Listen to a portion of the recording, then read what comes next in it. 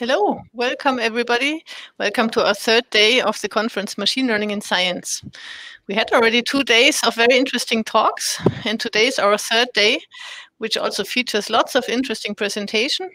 Um, the first one by Manfred Claassen unfortunately had to be cancelled in the last second, um, and Philipp Berens luckily jumped in and is going to give a presentation instead. I'm going to introduce him in a second to those who don't know him.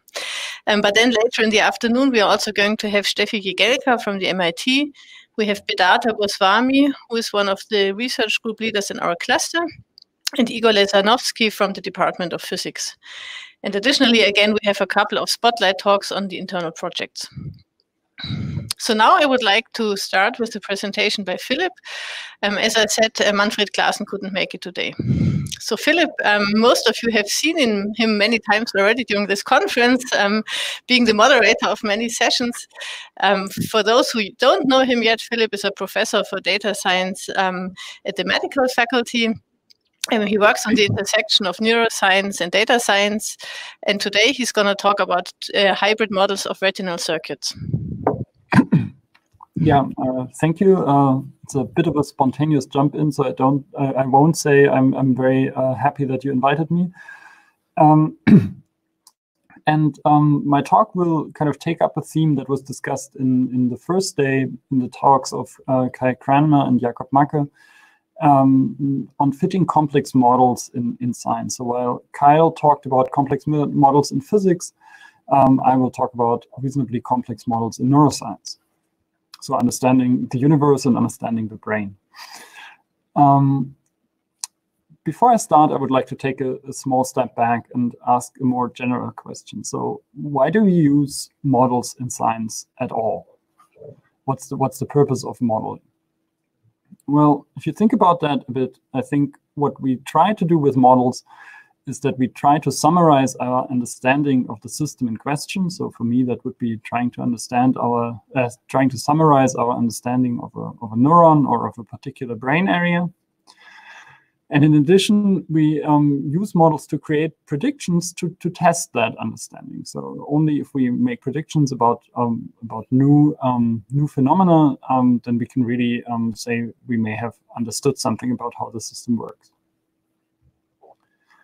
In neuroscience, we use um, models on, on two levels. And um, Jakob Macke uh, on Monday, uh, on Tuesday, nicely introduced that distinction as well.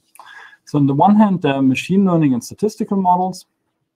In neuroscience, these are often models um, such as uh, the one sketched here that model the relationship between a visual stimulus, in this case, these kind of colorful checkerboard patterns, and uh, the neural activity of an individual neuron or a population of neurons through a statistical um, function. So in this case here, this would be just a, a linear, nonlinear um, model where this um, kind of stimulus frame is um, linearly multiplied or the dot product is taken between one of these stimulus frames and something called the receptive field of the neuron that describes where in space the neuron reacts to um, to changes in, in light.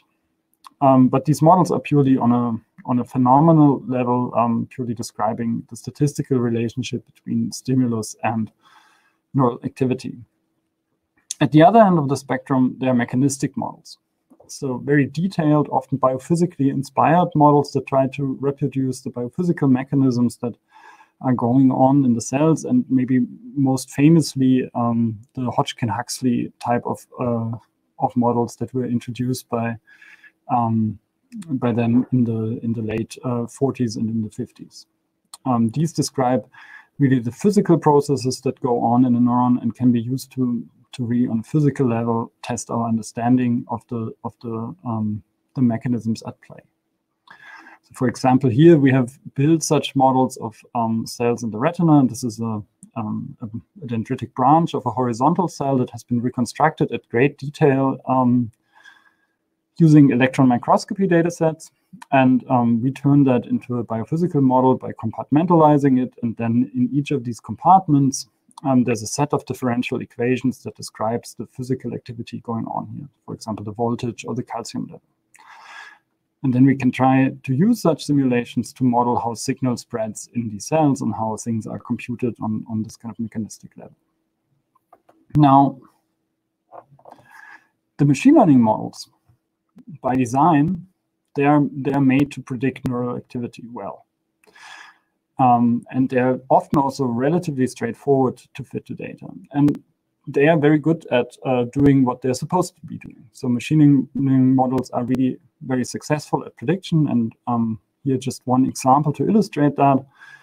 A study by Santiago Cadena, who's a PhD student in Matthias Bethge's lab, um, where they, they use a pre-trained um, VGG19 um, and the representations provided by such a deep neural network combined with linear readouts static nonlinearity and some noise model to predict the spike counts of um, uh, neurons in the primary visual cortex. And when you compare different um, machine learning models, then um, these are really the kind of the state of the art in predicting the neural activity in that particular region and pretty much across all, all regions. And you can see that such a pre-trained VGG model almost explains about half of the explainable variance of these um, in the activity of these neurons, and that's about as as good as you can get. Now, um, as I said, they're very good at um, at predicting neural activity, and they are reasonably straightforward to test, but they're harder to interpret or harder to make sense of in um, when trying to understand the biological mechanisms at play. So biophysical models instead um, allow us to test causal mechanisms that are at work here. And at the same time, these are much harder to fit to data. So what we would want to obtain in the end is really the best of both worlds. So we would like to have neuron models that are as um, biophysically realistic as uh, as needed to answer a certain question, right? We also always only need to go to a level that that makes sense for the question we want to answer. Um, they allow parameter inference from relatively standard measurements. So um, many biophysical models traditionally require you to do very complicated experiments that um, specifically target individual parameters. So we don't want that. We want to be able to fit them from relatively standard stimulus response measurements. And um, in the end, we want these models to have um, actually a good predictive performance. And ideally, and this closes the, the loop to, to what Jakob and Kyle were saying on Monday. We would like to have a representation of the uncertainty about the parameters after inference, for example, to be able to detect parameters that are not constrained by the data or to detect dependencies in the in the parameters um, and compensatory mechanisms as Jakob was talking about. What I will um, show you today is our recent advances into that direction. And I will do that um, in, in two case studies. So, and, and I call these models, so this is where the title comes from, I call these models that are somehow located between purely machine learning models of neurons and purely biophysical models of neurons. I call them hybrid models. So um, we are working in the in the retina for the most part. The retina is the piece of the, the eye. It's a, a thin sheet of neural tissue at the back of the eye that takes up light signals from the environment and converts them into electrochemical signals.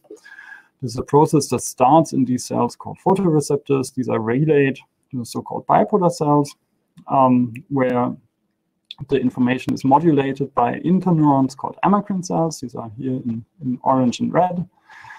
And then the result of these computations are forwarded to the ganglion cells, which send the signal to the brain. And the two models that I, I want to talk about today are a feed-forward model of the linear nonlinear processing in a single bipolar cell, and here we can actually do the uncertainty quantification that we would want to. And then in the in the second part, a circuit model of all bipolar cell types, including amacrine cell feedback. And um, this is kind of where we are right now with this endeavor. So I will start with this first bit here. Um, this is the feed-forward pathway um, from the photoreceptors through the bipolar cells and then um, onto the ganglion cells. And basically, we would like to model the activity of these bipolar cells. The data we have to constrain these models come from a collaboration with uh, Ben James and Leon Lagnado at the University of Sussex. And um, they work in, uh, in zebrafish, where they can image the activity um, in individual bipolar cells using two-photon microscopy. And this is such a bipolar cell. Here's the cell body. There are the dendrites. Uh, it's very blurry.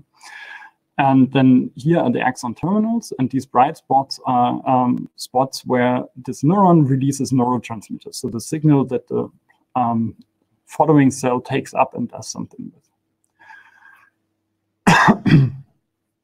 um, they they play um, a, a, visual stimulus that is very simple. It's just flickering light, looking like this, and then measure neural activity, uh, which looks like that. And this neural activity trace that you can see here that comes in, in discrete um, amplitudes, and you can deconvolve that neural activity into um, estimates of the number of vesicles of neurotransmitter that were actually released um, by, the, by the synapse at that particular moment. So here, after that um, step from light to dark, the cell releases about six vesicles of neurotransmitter.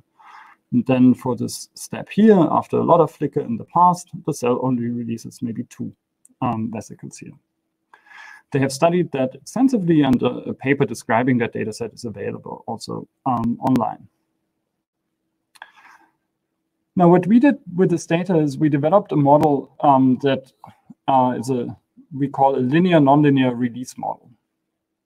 So we summarize we summarize actually most of the processing going on on the dendrites of the bipolar cells and in the photoreceptors um, and on the in the cell body and so on.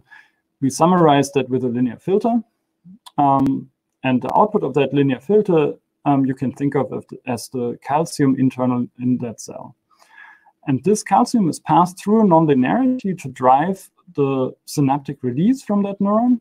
And the bipolar cells have a very specific, um, a very specific uh, synapse um, that is responsible for the release, and it's called a ribbon synapse. And that's a, a special type of synapse because it has this structure called ribbon um, and consists of three pools of vesicles.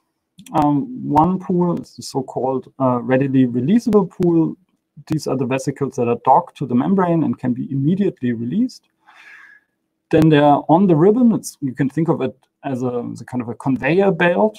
Um, on the ribbon, there's the intermediate pool, that uh, the vesicles that get transported um, to the release site. They're kind of the intermediate pool. And then there's the um, there's the reserve pool um, of vesicles that are um, in the cytoplasm and can be docked to the ribbon to be then later released. And you can describe the movements of these vesicles here also with a stochastic set of um, differential equations. And I don't, uh, here also you can see an electron microscopy image of this, um, this structure with um, here some, some uh, vesicles in the release pool, readily releasable pool marked, and then some vesicles docked to the ribbon marked. I won't go through all the, the mathematical details of our ribbon model, um, but uh, we model first the correlated vesicle release with a beta binomial distribution that allows to model also correlations in that um, release. Um, then the um, movement of vesicles to the dog.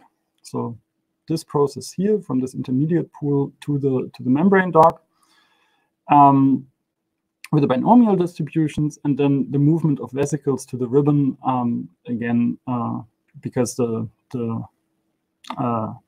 this reserve is is is, uh, is very large. Um, we model that as well, and this stochastic um, model we can forward simulate very easily. So if we set our parameters to some value, we can very easily generate forward simulations but it's but there's no closed form solution um, for these parameters given some measured data. And this is where likelihood-free Bayesian inference comes in, or simulation-based inference comes in, as was discussed by um, Kyle and Jakob on uh, Tuesday. So what we want is a posterior over our model parameters given the data.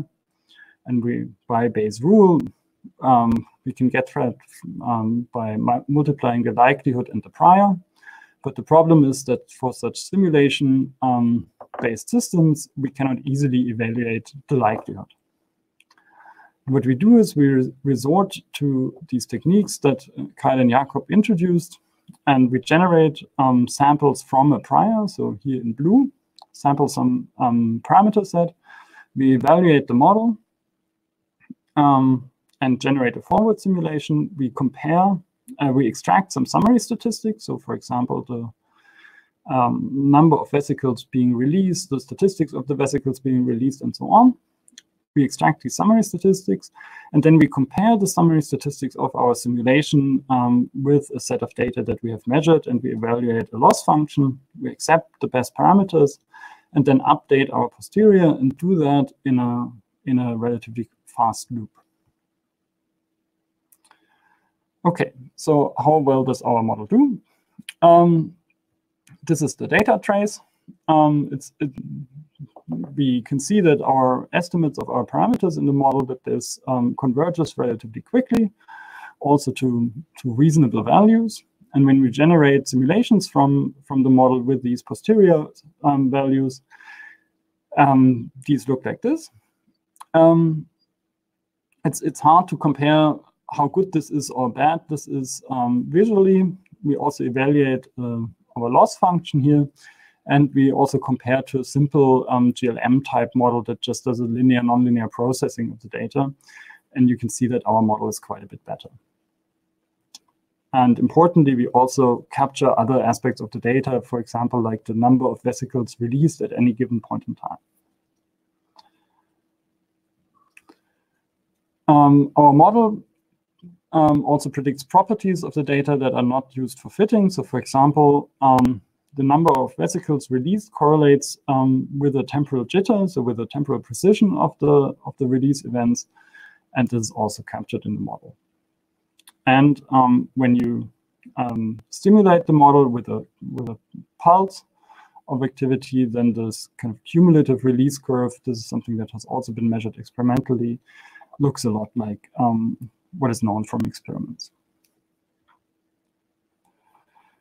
We can also use the same basic machinery to do Bayesian inference for a really much more um, complicated model, a multi-compartment model of a, of a neuron, where we have um, a, a, much higher number of parameters, more than 20.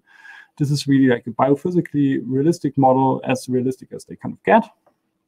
Um, and here the, the main issue is that there are there's scattered knowledge of many of the parameters that are needed um, for such a model throughout the, the literature in different animals, in different bipolar cell types, and so on. And we can use these in this framework very nicely to set the priors of our inference procedure and then still use the data to constrain the model further. If you're interested in that work, it's available as a preprint on bioRxiv.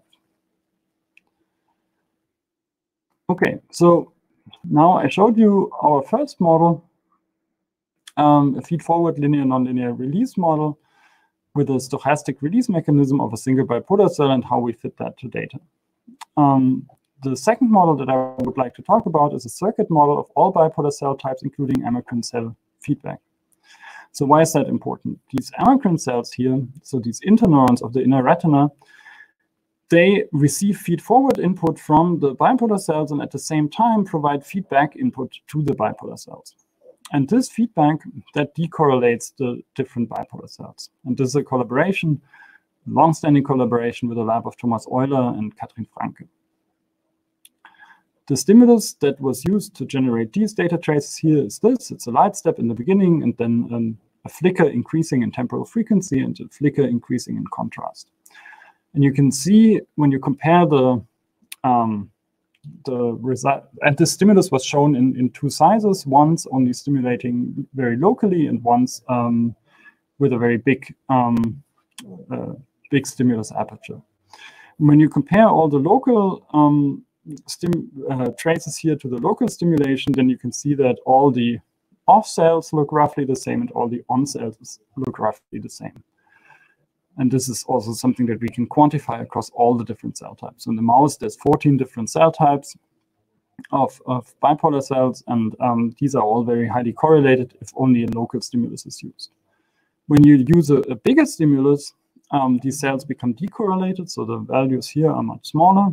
Um, you can also see that here in the example traces. So amacrine cells really play an important role in the processing of temporal information in the retina. The bipolar cell network model that we that we built um, essentially consists of a similar feed-forward pathway model um, as we have used uh, before here of the vertical pathway. It has a slightly simplified release model because we don't assume it to be stochastic. Um, but in addition, it has feedback of two kinds of amacrine cell populations. One of them are local amacrine cells that provide inhibition to the bipolar cells and also to the global amacrine cells. And these global amacrine cells also, again, provide um, feedback to the inhibition, and they are only activated by larger stimuli. This is joint work by Cornelius Schröder and David Klindt, which is currently also under review and available as a preprint. Now, in the um, interest of time, I won't go through all the details of the of the model, but um, you can see here that we model the um, release drive as um, a function of the input from other bipolar cells, uh, of the input of the bipolar cell and the um, local and global feedback. Then we also have this kind of release mechanism as we had before. And for the amacrine cell feedback, um, we approximate that um, with linear nonlinear functions.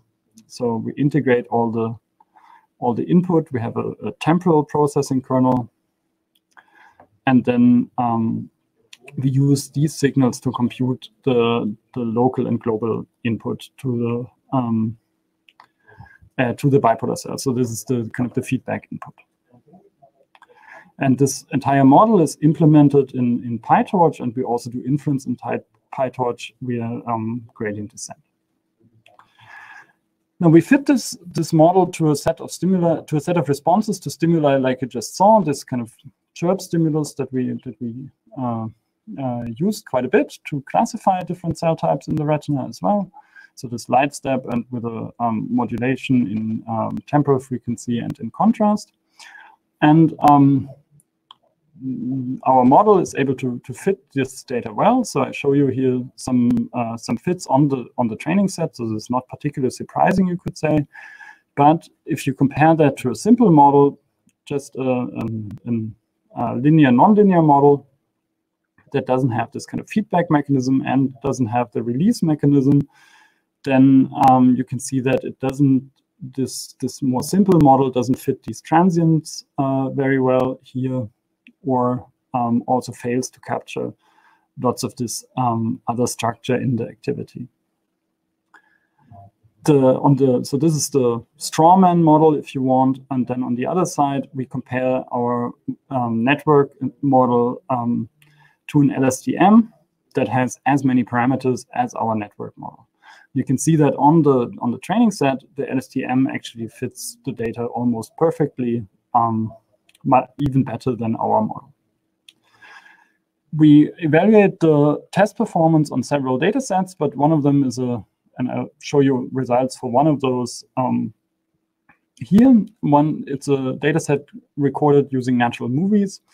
And we just um, average the um, brightness values in these natural movies locally to a single um, dimensional, um, to a one-dimensional stimulus that is, has shows just variation in time. You can kind of think of that as the, the local contrast in the receptive field of the neurons.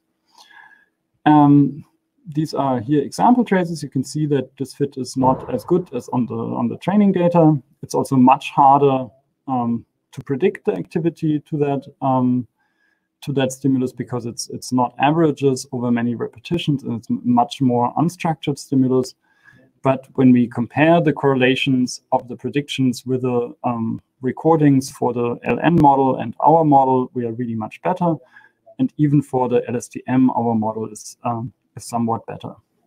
Uh, interestingly, when you look at the, the numerical values, um, and the interesting part is this here on the right, then our um, much more constrained and um, and biology inspired model is always as good or even better than the LSTM model in predicting the activity of this um, bipolar cell activity to, to new stimuli. Now, this is not only about prediction. We said we also want to be able to, to test biological function or biophysical um, mechanisms. And for example, what we can do is we can use the model to replicate the effect of pharmacological experiments. So when you apply a drug called strychnine to the to this network, then you take out the local amacrine cells, and um, this has a effect on the neural activity in the circuit.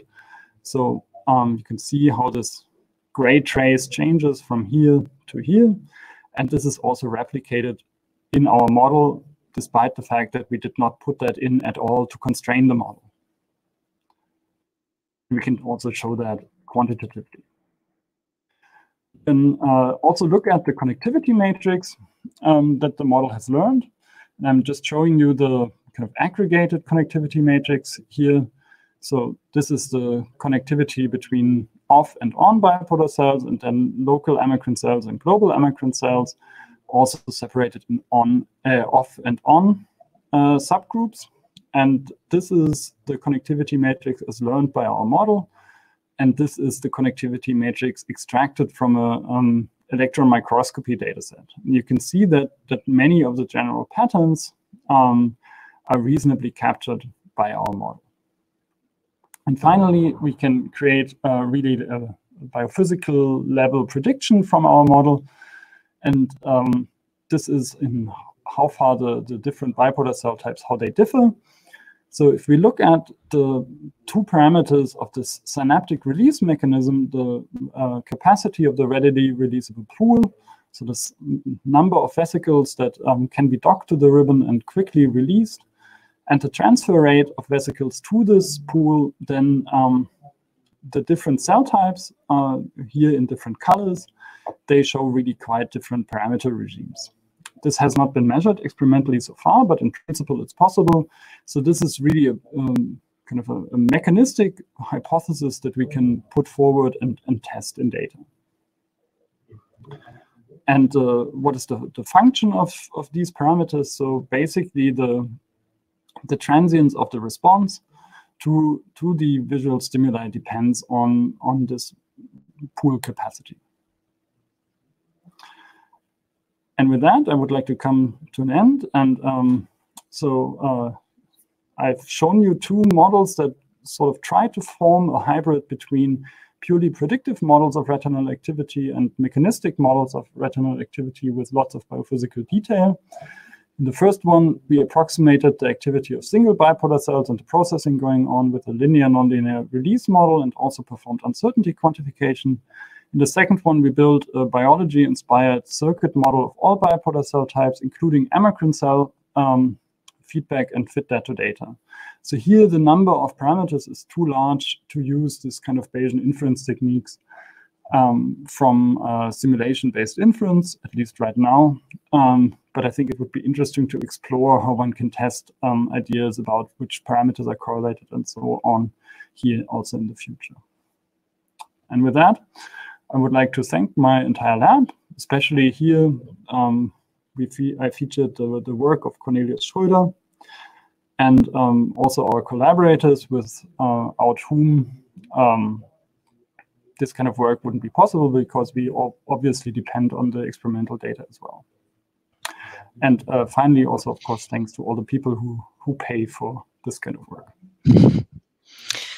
Okay, thanks, Philipp, very much for your presentation. Um, I have already a couple of questions in the question box for everybody else. Please keep on typing your questions. I try to read them um, as you type them and then try to ask them. So the first question I'd like to ask um, is a question about um, more or less the contents of your model, not so much the machine learning part. So the question is um, by Arne Rolf, a very good question about the first model. How significant expressive do you think is this model for other retinal systems? Is it possible to use the model to learn other processes, perhaps by transfer learning, or even to explain data from other measurements like mouse and so on? I, there was one word that got eaten by the acoustics in the in the first part of the question. So the transfer to what? Uh, the trend, the trend, perhaps by transfer learning. That's what it says. So essentially, I think the question is um, whether you can use this uh, similarly similar models for other retinal systems. Ah, okay. Yeah, this was basically fit. So the, the first model was fit to this fish data, and um, we also weren't quite sure, um, you know, how well it would work on, on mouse data as well, for example. And this worked really surprisingly well. So basically that was plug and play. I think you multiply some constant by a factor of two roughly, and then you have your mouse model. Um, probably a function of body temperature or something like that. Um, so and the, the model that we used in the second part really is, is a deterministic version where we basically just take the stochasticity out of the synapse model. So the these these in, in, in principle these these ribbons and the dynamics which will of these pools, they are really also relevant in, in lots of other systems. So in, in hair cells, for example, in your ear, you also have these um, these kind of ribbon synapses. Um, they come in, in, in really various different flavors with a you know the size and the shape of the ribbon is different but it, it seems like the um, the general dynamics governing the activity um, they are still are still the same mm -hmm. Okay, and then um, I, I, have a question myself, which I've been wondering the last two days already. Um, so when I look at this um, this whole approach, so you start with um, some model, you do forward modeling, and then you come up with a summary statistics on which you evaluate the model, and then you compare, and then you compare the, like the simulated data to, to some true data and try to fit the parameters or so. My feeling would be that the results depend a lot on what summary statistic mm -hmm. you use. Um, and if you choose a different summary statistics, it might be that you identify completely different model parameters. And of course, I mean, I'm sure you can construct such examples in theory, but maybe the mm-hmm. question mm. is whether this would also happen in practice, whether you've observed that. So I think in, in some way, these summary statistics um, or having having to specify these summary statistics explicitly, I think is is in, in, on on some level, I think it's actually a very nice property um, because it requires you to be specific about what features you think the simulation should capture. So if if you um, just let's say take the mean squared error between your recorded trace and the, the fitted trace, then um, you can, by the way, you can do that as well, right? You can use a summary statistic that is just the mean squared error, but you can also do something more specific. So it, it doesn't prevent you from doing um, uh, doing basically very classical things as well. I think there's also some literature recently um, on um, uh, on simulation-based inference techniques that try to learn optimal summary statistics, but I'm not terribly familiar with that. Mm -hmm. Because the question is also then if you want to evaluate your results in the, or not, well, mm not evaluate, but interpret your results in the end, right? So if somehow you chose a summary statistics um, and you get one kind of model and you choose a different one and you get a different model, then somehow it's hard to, to interpret. I mean, beyond that, your model is able to do predictions maybe, but other than that, it's difficult.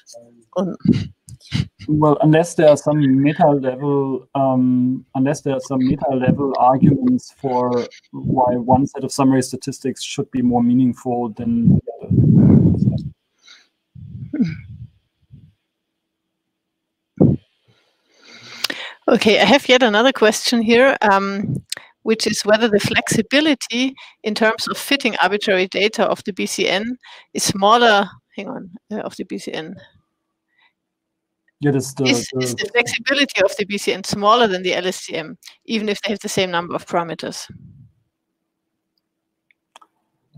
Not sure I really understand the question. So um, I, I think I know what the, the person is getting at. So the this the second model, this this bipolar cell network model, this overfit to some extent less to the data than um, the LSTM with a matched number of parameters.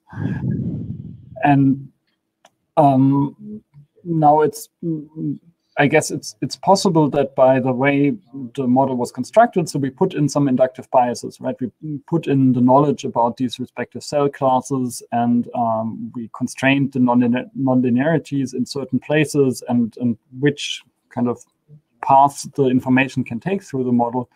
And I guess in some way that could restrict the kind of capacity to fit individual thing uh, in arbitrary um, data. So maybe one could do some kind of capacity analysis um, on that. But um, in the in the other direction, I would say I don't really care as long as the true general or the the, the, gen, the, the generalization um, performance that we find to really data sets that the model has never seen.